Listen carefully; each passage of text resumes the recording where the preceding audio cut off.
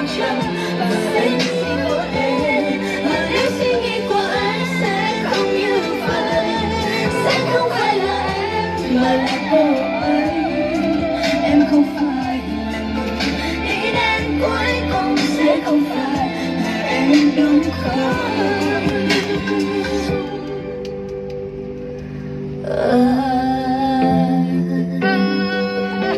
Em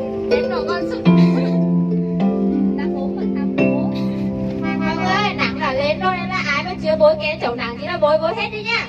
Ờ,